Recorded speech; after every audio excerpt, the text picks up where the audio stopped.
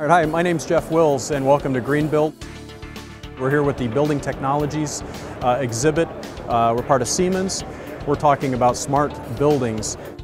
You know, if you're familiar at all with the smart grid, that's related to the electrical infrastructure, right? The utility infrastructure, how we get our electricity. But we're, we come at this from a buildings perspective. So Siemens response and how we help our customers respond to smart grid is what we call smart consumption.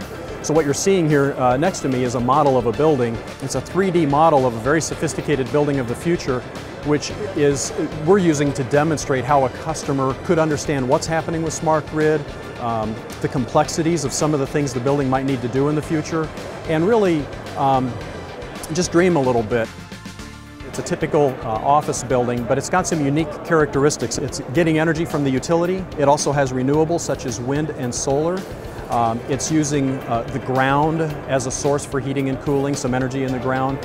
Um, it's got an internet connection, of course, right? So it's communicating with the grid and with outside influences to help it understand price signals and what's happening out there. It's got lighting systems that are intelligent, mechanical systems that are intelligent, um, uh, water systems that are intelligently managed. So one of the key things to think about when we talk about smart consumption is that it's not always about consuming less energy, but it's about when you consume it. Maybe using more at night when energy prices are lower and more during the, uh, less during the day when energy prices are high that still is very um, green, if you will, or, or lends itself to helping us from a, a, sustainability perspective because you're not turning on additional power plants during the day. In this building, you might even see the water tank on the roof. It's, it's storing domestic water so that you can pump at night when energy prices are low and, and use gravity during the day to feed your domestic water needs. That's the summary of the, the building of the future and smart consumption as it relates to what's happening with the future smart grid.